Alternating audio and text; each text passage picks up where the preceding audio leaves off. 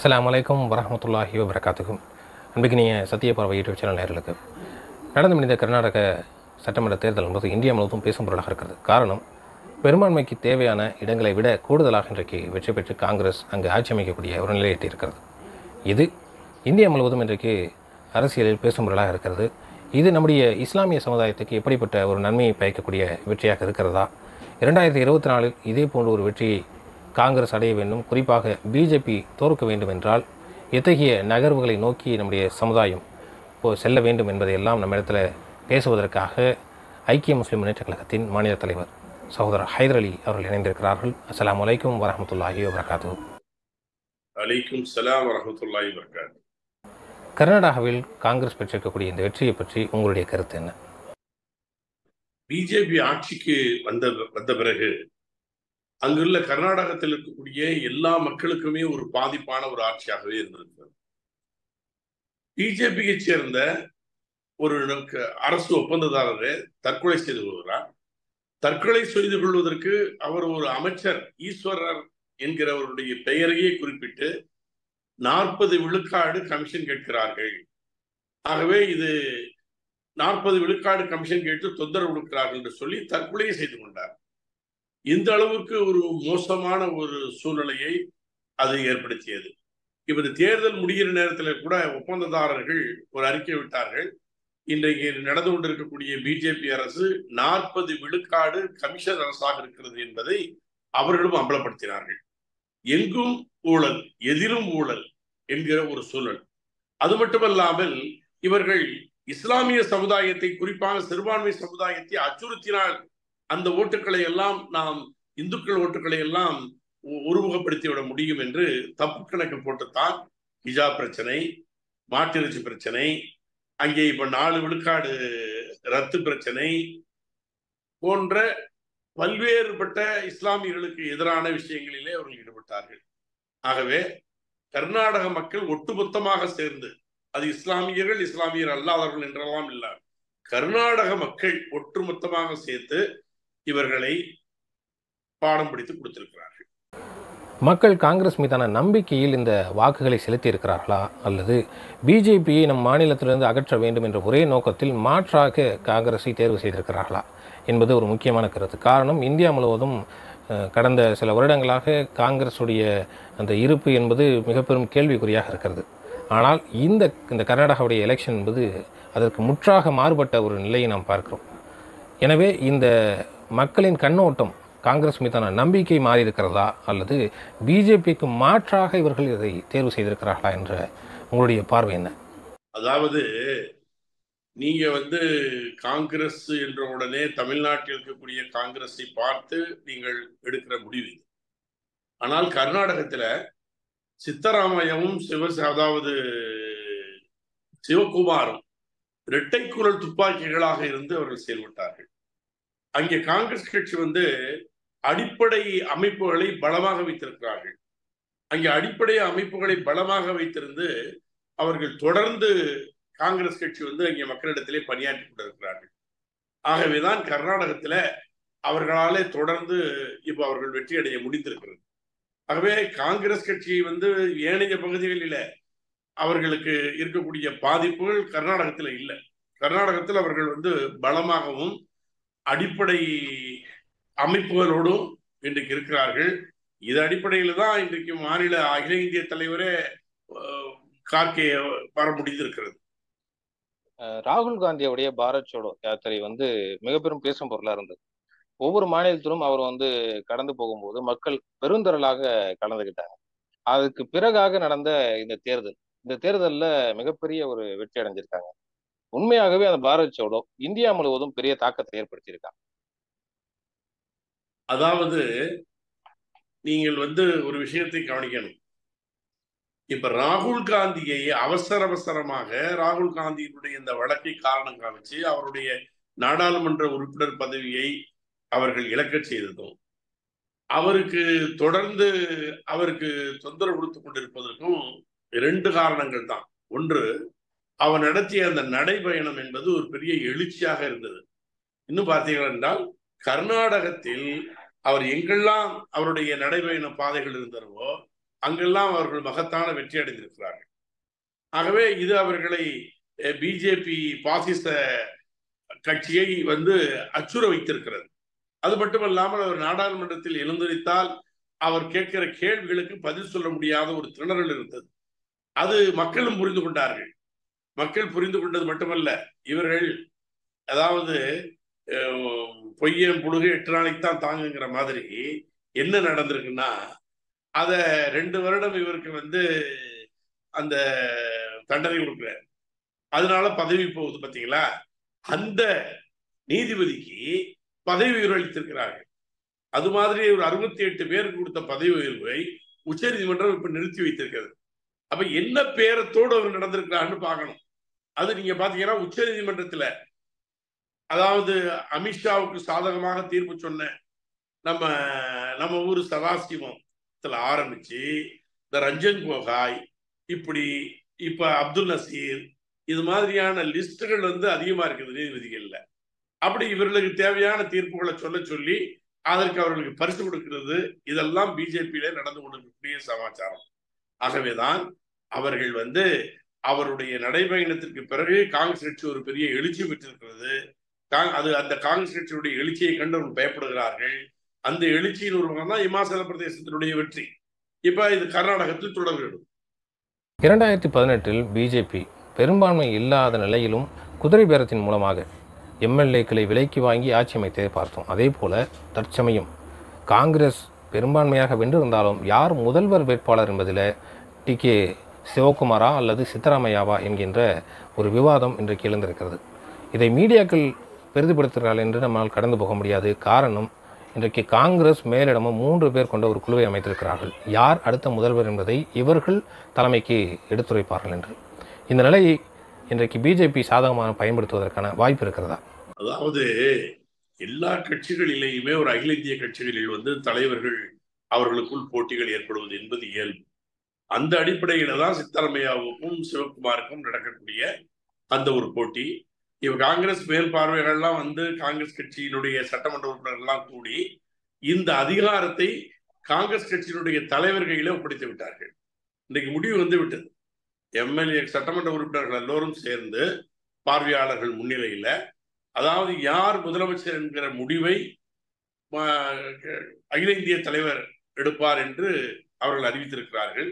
அகில இந்திய தலைவரும் அங்கே ராகுலும் சோனியாவிடத்திலையும் கலந்து ஆலோசிப்பதற்காக அவர் டெல்லி சென்றிருக்கிறார்.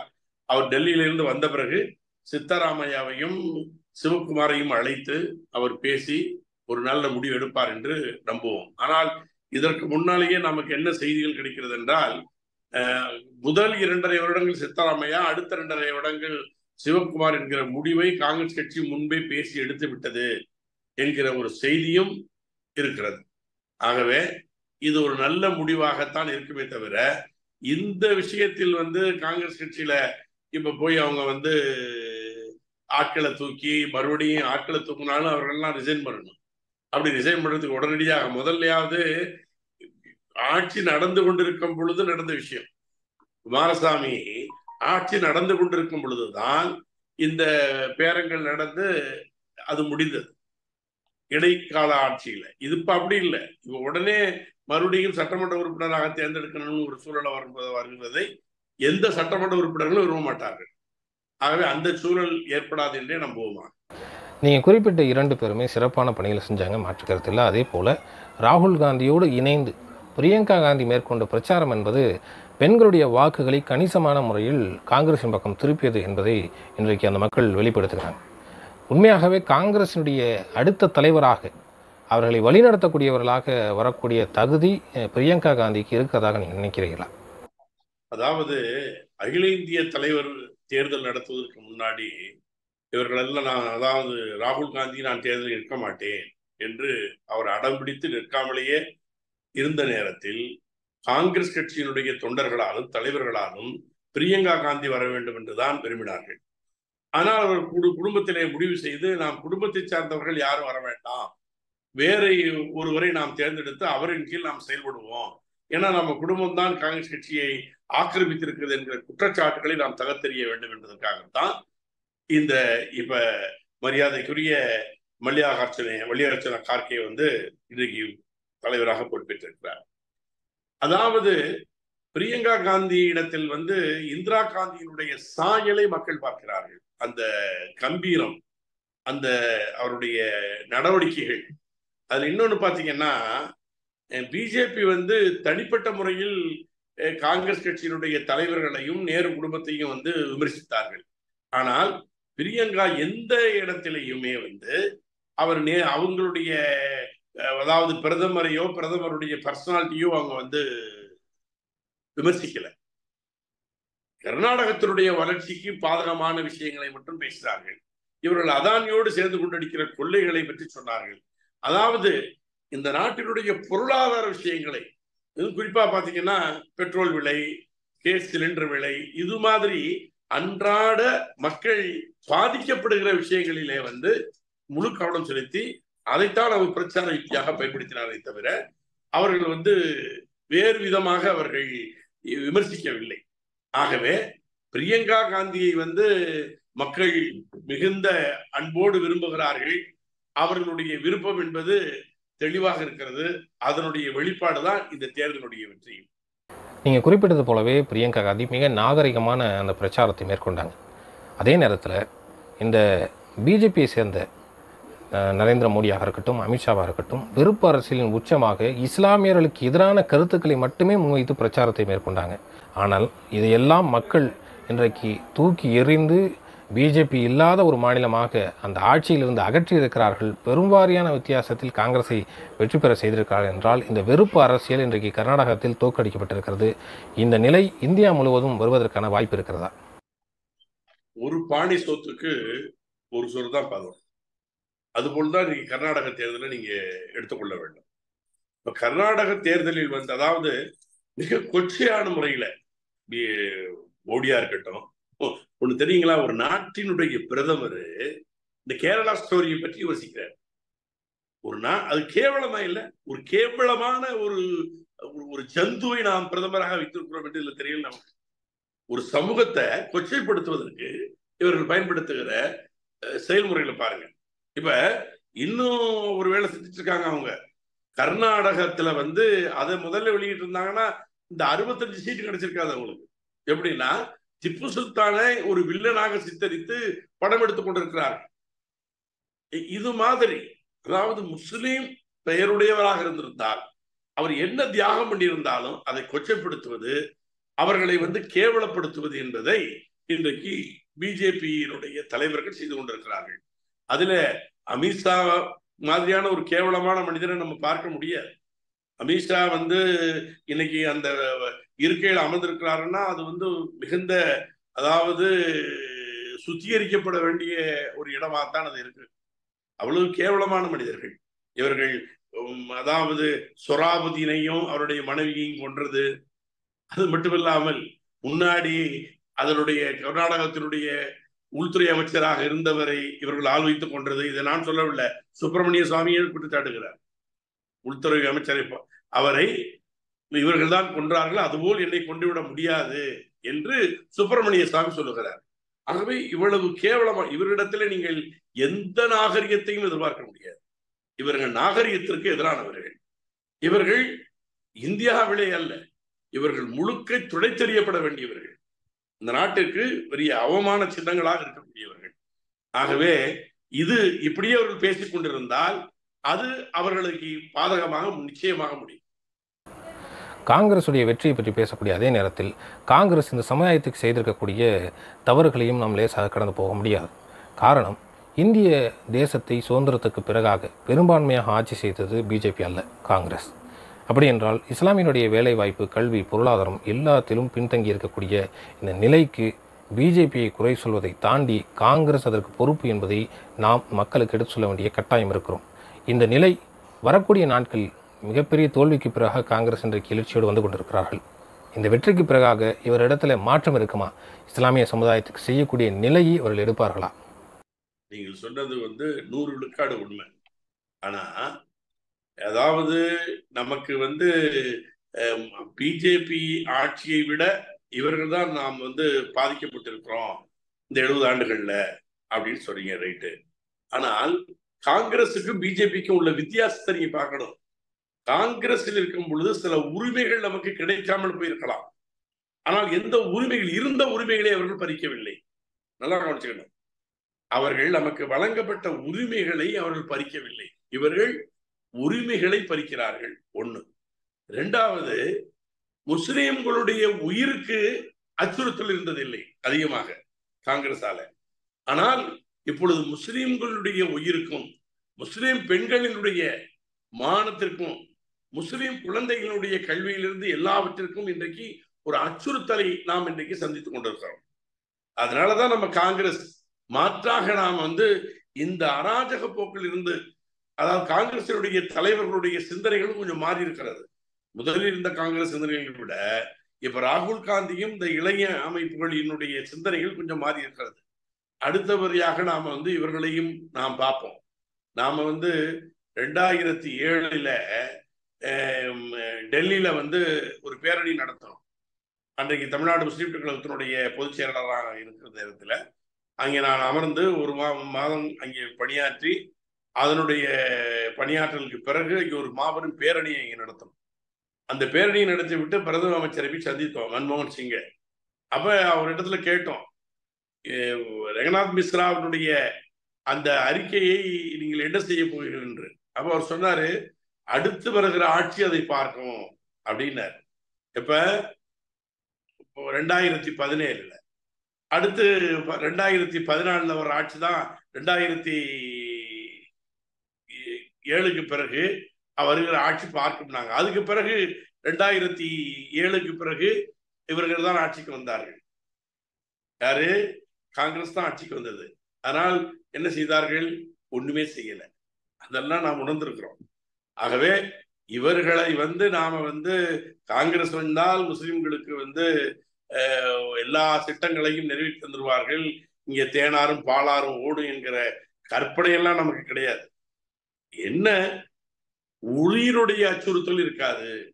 அதாவது காங்கிரஸ் என்ன எப்படி இருந்துச்சுன்னா பிஜேபி வந்தா ஏதாவது சொல்லிடுவான்னு சொல்லியே நமக்கு எல்லா உரிமைகளையும் தர மறுத்தார்கள். ஆனா இருந்த உரிமைகள் இப்ப ராஜேந்திர சிச்சாரனுடைய அந்த அறிக்கைக்கு பிறகு பல விஷயங்களை மன்மோகன் சிங் அரசு செய்தது. அதெல்லாம் மறுக்க முடியாது. அப்ப அது மாதிரியான விஷயங்கள் நடந்துச்சு. இப்ப பாருங்க முஸ்லிம்களுக்கு வந்து பொருளாதார வசதிகளை அந்த பொருளாதார மேம்பாட்டுல கொடுத்துக்கிட்டு இருந்த பணம் வந்து மூன்று வருடங்கள். கடை நாலு வருடம் முதல்ல உள்ள நாலு வருடத்துக்கு ஒண்ணுமே தரல. கடைசி மூணு வருடம் எவ்வளவு கொடுத்துருக்கான்? வருஷத்துக்கு மூவாயிரம் ரூபாங்கன்னு பன்னெண்டாயிரம் ரூபா கொடுத்துருக்கான். யாருக்கு? தமிழ்நாடு அரசுக்கு. அரசாங்கத்துக்கு. மனிதர்கள்ல அரசாங்கத்துக்கு அவங்க அனுப்புனதே வெறும் பன்னிரெண்டாயிரம் ரூபாய். அது மட்டும் இல்லாம இப்ப வந்து வெளிநாட்டிலே போய் படிக்கக்கூடிய அந்த உதவித்தொகையை சிறுபான்மையினருக்கு அதை நிறுத்திட்டான். அதே மாதிரி அபுல் கலாம் ஆசாத்துடைய ஃபண்ட் எல்லாம் குறைக்கப்பட்டு அவைகளெல்லாம் நிறுத்தப்பட்டிருக்கிறது. அதெல்லாம் காங்கிரஸ் ஆட்சியில கொடுக்கப்பட்டு வந்தது. அப்ப காங்கிரஸ் ஆட்சியில நடந்தவைகள் திட்டங்கள் கூட காங்கிரஸ் ஆட்சியில் தந்த பொருளாதார ஒத்துழைப்புகள் கூட இப்போ தடுத்து நிறுத்தப்பட்டிருக்கிறது. அதையும் நம்ம பார்க்கணும். காங்கிரஸை குறை சொல்லுகிற நேரத்துல இதையும் பார்க்கணும். அவங்க இடஒதுக்கீடு தரல நமக்கு இருக்கக்கூடிய சில உரிமைகள் அவர்கள் தரல என்பதுல மாற்று கருத்து இல்லை.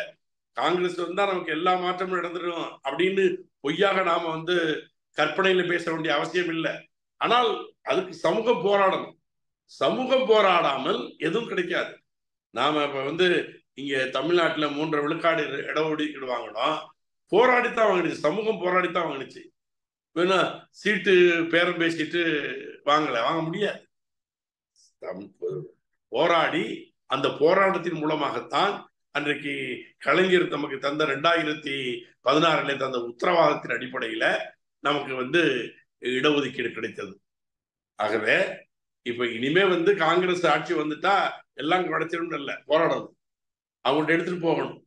அதுக்காக நம்ம தியாகங்கள் பண்ணித்தான் ஆகணும். பண்ணினால் மட்டும்தான் கிடைக்கும். ஒவ்வொரு முறையும் பிஜேபி வந்துடும் அப்படிங்கிற அந்த வார்த்தையை பயன்படுத்தி மத்தியிலும் சரி மாநிலத்திலும் சரி இஸ்லாமியனுடைய வாக்குகள் சூறையாடப்படுது அப்படின்னு தான் சொல்லணும்.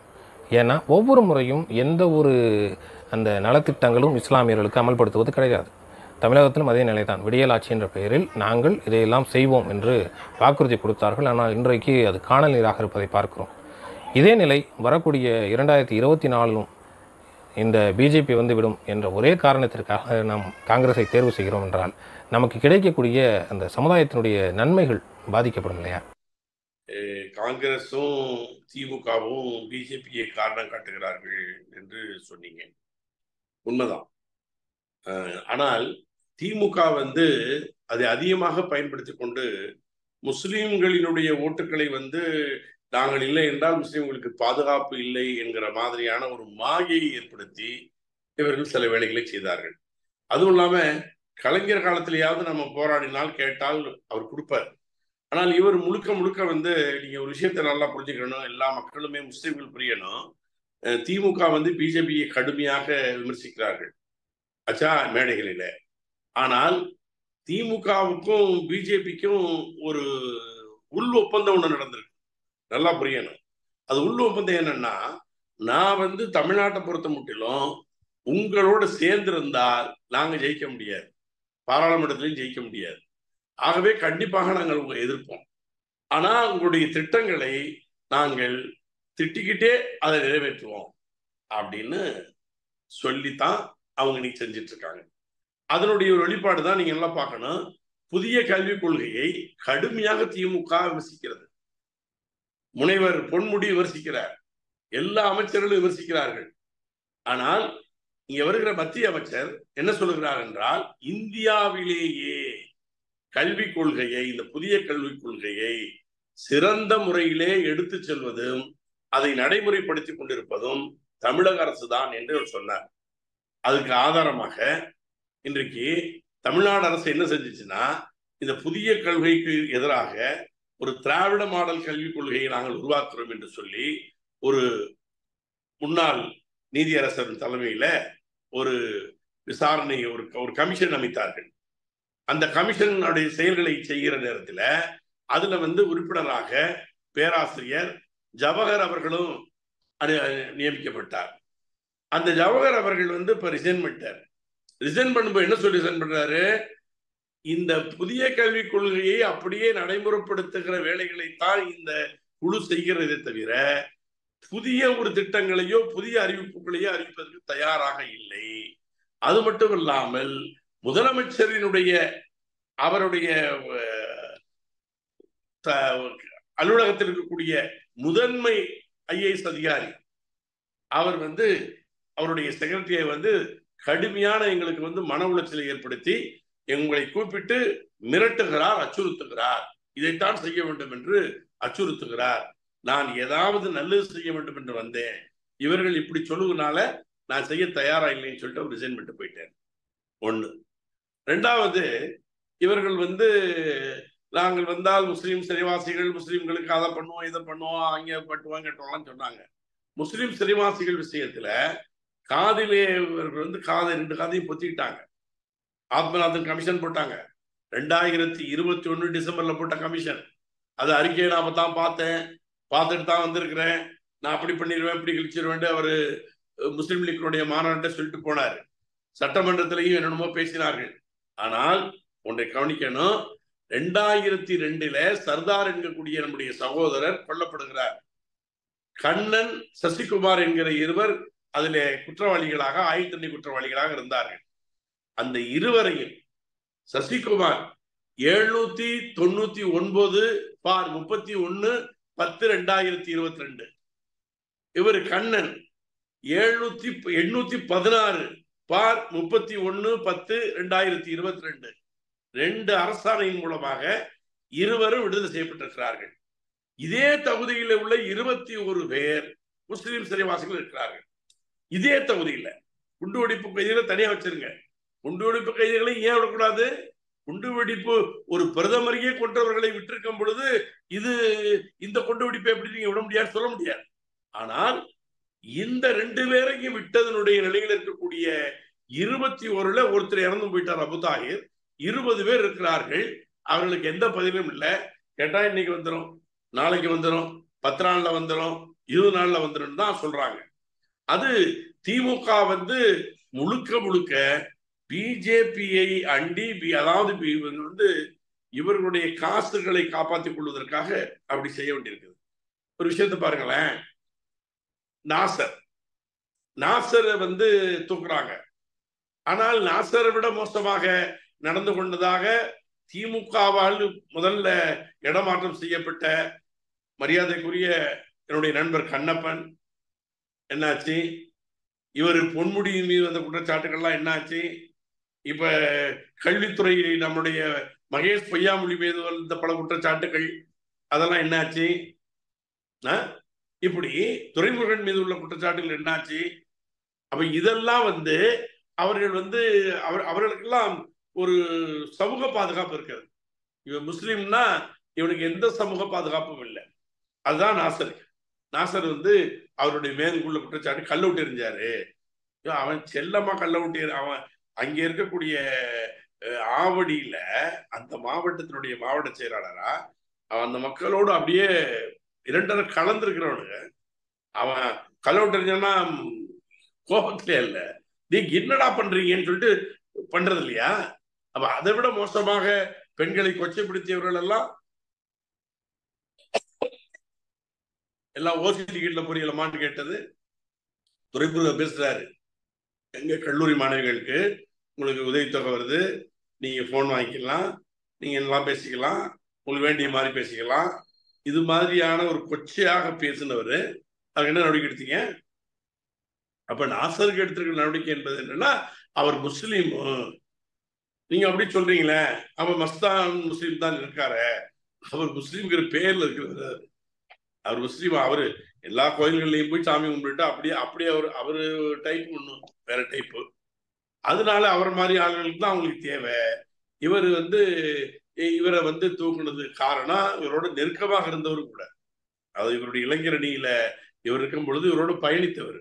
அது இவருடைய இவர் பயணித்தாருங்கிறதுக்காக அவர் ஒரு முஸ்லீம் அல்லாதவராக இருந்திருந்தால் அவருக்கு எல்லா பாதுகாப்பும் இருக்கும். அவர் முஸ்லீம் என்கிற காரணத்தினால கேட்பதற்கு நாதி இல்லை. கூட்டணியில் இருக்கிறவங்களும் அவங்க கேட்க போறதில்ல. இல்லை இதுல தூக்கிட்டீங்களா கேட்க போறாங்க அது நாதி இல்லை என்கிற அடிப்படையில தான் அவர் தூக்கி எறியப்பட்டிருக்கிறார். அதற்கு பதிலாக டிஆர் பாலுடைய மகன் டிஆர் டிஆர்பி ராஜாவை நியமிச்சிருக்கிறாங்க. ஆகவே திமுகவை பொறுத்தவரை அது முழுக்க முழுக்க அதாவது வேற வேற நாடகங்கள் போட்டுட்டு இருக்காங்க.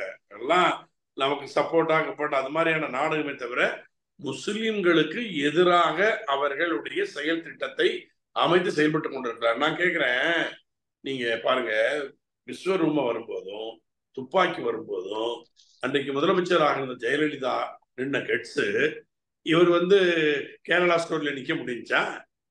கேரளா ஸ்டோரி இன்னைக்கு தடை செய்யப்பட்டு தமிழக அரசால் தடை செய்யப்படல. முதல்ல வந்து சினிமா தேட்டர் உரிமையாளர்கள்லாம் போறதுலன்னு முடிவெடுத்தாங்க இந்த காம் இந்த காம்ப்ளெக்ஸ்கள் இருக்கல மால்கள் இருக்கக்கூடியவர்களுக்கு தனி சங்கம். அவங்க மட்டும் தான் போட்டாங்க. அந்த படம் போட்ட பிறகு அவங்களுக்கு ஒரு பாதுகாப்பின்மை ஏற்பட்டதுனாலையும் வியாபாரம் ரொம்ப பாதிக்கப்பட்ட காரணத்தினாலையும் அவங்களுக்கும் சரியா வரான்னு சொல்லிட்டு ஒரு நாள்ல எடுத்துட்டாங்க. தமிழக அரசு இதற்காக துரும்பை கூட கிள்ளி போடல. மாறாக ஒவ்வொரு சினிமா தேட்டருக்கும் இருபது முப்பது போலீஸை அனுப்பி வைத்தார்கள் பாதுகாப்புக்காக. அதுதான் தமிழக அரசு செய்த சாதனை.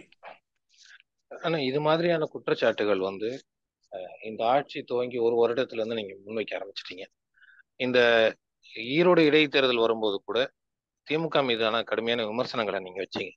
ஆனாலும் இடை ஈரோடு இடைத்தேர்தலில் வந்து நீங்க திமுகவை தான் ஆதரிச்சீங்க. அது மட்டும் இல்லாம இரண்டாயிரத்தி இருபத்தி நாலு இப்ப பாராளுமன்ற தேர்தல் வருது. திரும்பவும் பிஜேபி விசஸ் திமுக அப்படிங்கிற ஒரு கட்டமைப்பை தான் கொண்டு வர போறாங்க. இந்த நீங்க சொன்னது போல இவங்க என்னதான் திமுக வந்து மறைமுகமாக பிஜேபியோட கூட்டணி வச்சிருக்கிறதா நீங்க சொன்னாலும் மீண்டும் ஆதரிப்பு கொடுக்கக்கூடிய ஒரு சூழ்நிலை தானே வருது. இதுக்கு மாற்று என்ன இருக்கு? ஒரு இஸ்லாமிய ஒரு தலைவரா இதுக்கான மாற்று எல்லாருமே புரிந்து மாட்டேங்கிறீங்க. நீங்க வந்து நாம வந்து ஈரோடு இடைத்தேர்தலில் திமுக காங்கிரஸ் கட்சியினுடைய வேட்பாளர் அங்கே நின்ற காரணத்தினால அது காங்கிரஸ் கட்சியினுடைய நாம சொல்லுகிற நேரத்துல திமுகவுடைய கூட்டணி கூட நான் எங்கேயும் சொல்லுவேன் அறிவிக்கல. காங்கிரஸ் கட்சியினுடைய வேட்பாளர் ரெண்டாயிரத்தி இருபத்தி நாலில் இந்த பிஜேபி ஆட்சியை நான் வீட்டுக்கு அனுப்பணும்னா காங்கிரஸ் கட்சியை வந்து நாம் பலப்படுத்தணும். அந்த அடிப்படையில நாம் காங்கிரஸ் வேட்பாளரை நாம் இனிய நண்பர் இளங்கோவனை ஆதரிக்கணும்னு சொன்னமே தவிர திமுகவுடைய பிரச்சார மேடைகளிலேயோ திமுகவோடு சேர்ந்தோ நம்ம பிரச்சாரம் பண்ணல. நாம அதை அங்கே தெளிவாகவே சொன்னோம். அந்த நேரத்துல கூட நம்முடைய உங்களுடைய சத்திய பார்வை பத்திரிகையில கூட அது வந்திருக்கிறது. நாம் ஏன் ஆதரித்தோம் என்பதெல்லாம் அப்ப விளக்கியிருக்கோம் ஆச்சுங்களா இப்போ வருகிற பாராளுமன்ற தேர்தலிலையும் கூட என்ன நிலைன்னா இப்ப நம்ம அந்த நிலையை சொல்ல முடியாது. ஒரு கால் நீங்க சொல்லுகிற மாதிரியான ஒரு சூழ்நிலை வந்துச்சுன்னா நாம வந்து முதலில் வந்துங்க நல்லா அதாவது உலக அரசியலை நம்ம முதல்ல புரிஞ்சுக்கிறோம் நல்லா ஒரு விஷயத்த நீங்க புரிஞ்சு நமக்கு வந்து முன்னோடி எம்பெருமான சல்லாலி செல்வர்கள் தான். அவர்கள் வந்து மதினாவிற்கு வந்து ஆட்சி அதிகாரத்தை வந்த பிறகு அவர்கள் வந்து அங்க இருக்கக்கூடிய யூதர்களிடத்திலையும் இன்னும் சிறு சிறு சிறு கூட்டங்களிடத்திலாம் அவர் உடன்படிக்கை செய்யறாங்க அது உடன்படிக்கை என்னன்னா நான் எங்களுக்கு எதிர்த்து யாருக்கு எங்களை தாக்குவதற்கு வந்தால் நீங்க எங்களுக்கு சப்போர்ட் பண்ணணும் அவங்களுக்கு சப்போர்ட் பண்ணக்கூடாது. அது மாதிரி உங்களை தாக்குறதுக்கு யார் இருந்தாலும் உங்களுக்கு நாங்கள் சப்போர்ட் பண்ணுவோம். உங்களுக்கு தான் சப்போர்ட் பண்ணுவோம் அப்படின்னு சில உடன்படிக்கையில் செய்துக்கிட்டாங்க. அப்படி செய்துக்கிட்டு தான் அந்த மதினாவில் வந்து ஒரு பீஸ்ஃபுல்லாக அவங்களால இருக்க முடிஞ்சிச்சு. ஆச்சுங்களா? அப்போ உடன்படிக்கை என்பது வந்து முழுசுமே நம்மளுடைய கொள்கைகளை ஏற்றுக்கணும்னு அவசியம் இல்லை. அவர்கள் வந்து யூதர்களாக இருக்கிறார்கள் காவிர்களாக இருக்கிறார்கள். அவரிடத்துல எம்பெருமா சல்லா அலிஸ்லாம் அவர்கள் தான் உடன்படிக்கை செய்தார்கள். இப்ப அதே மாதிரி தான உடன்படிக்கைகள் தான் நம்ம வந்து இப்ப செஞ்சுட்டு இருக்கோம். நீங்க உலக வரலாற்றிலையும் பாத்தீங்கன்னா சீனாவில் சீனாவில் வந்து அங்க சன்னியாசனுக்கு பிறகு சியாங்க ஷேக் ஆட்சி பண்ணுகிறாரு.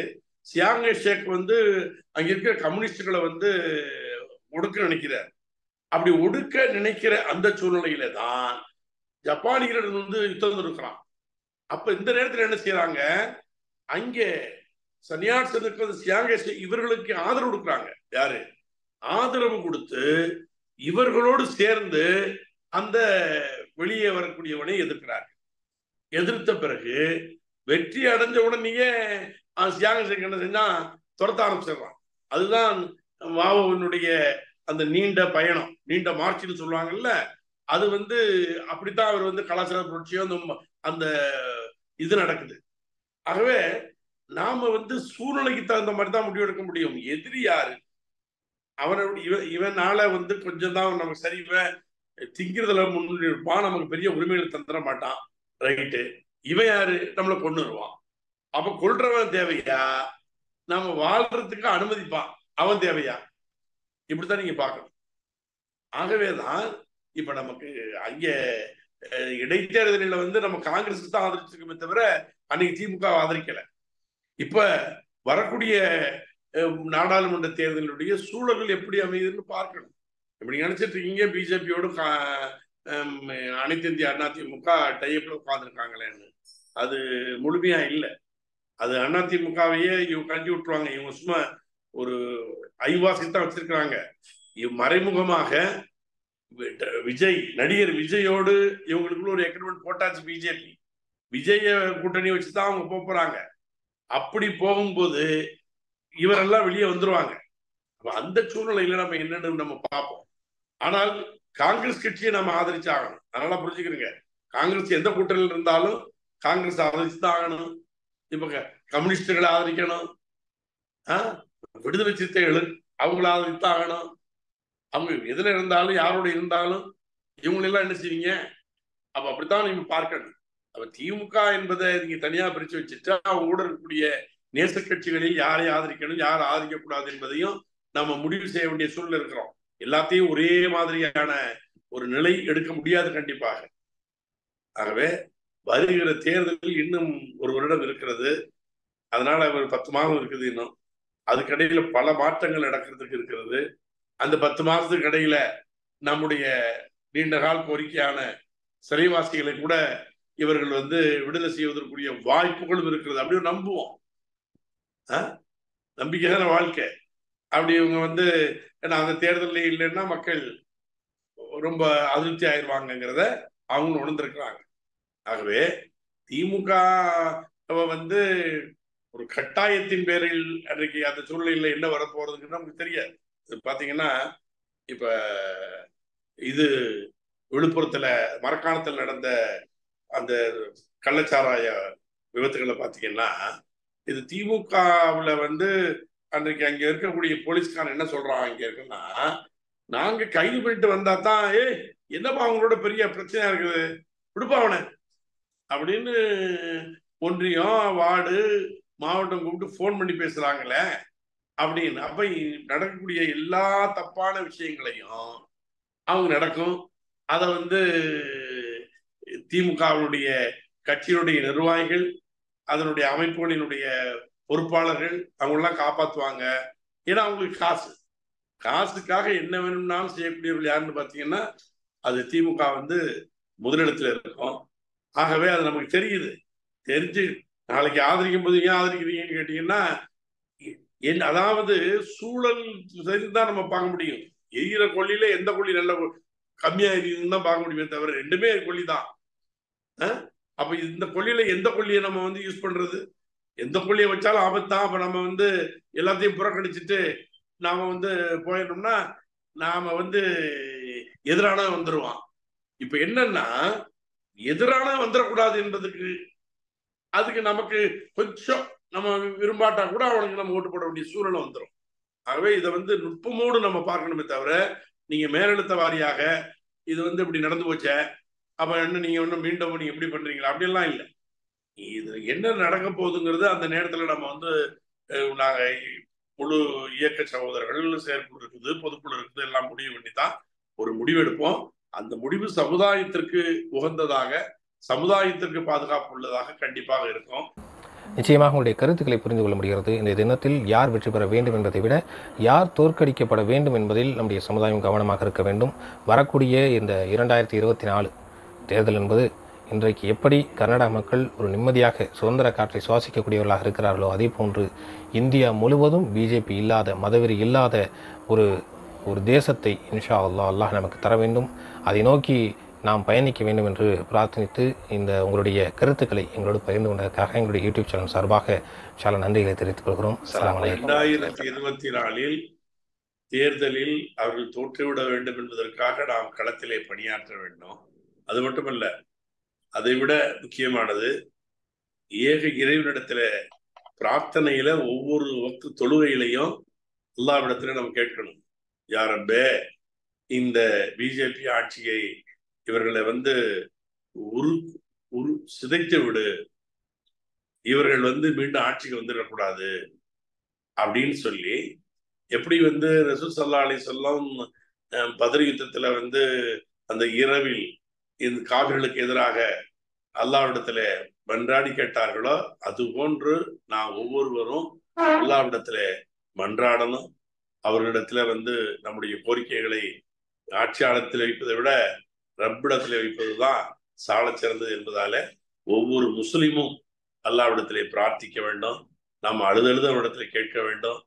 இந்த ஆட்சியை முடிவு கொண்டு வா. எங்களுக்கு ஒரு பாதுகாப்பான சூழல் ஏற்படும் என்பதை அல்லாவிடத்திலே அனைவரும் வைக்க வேண்டும் என்கிற கோரிக்கையை வைத்து விடைபெறுகிறேன். நன்றி.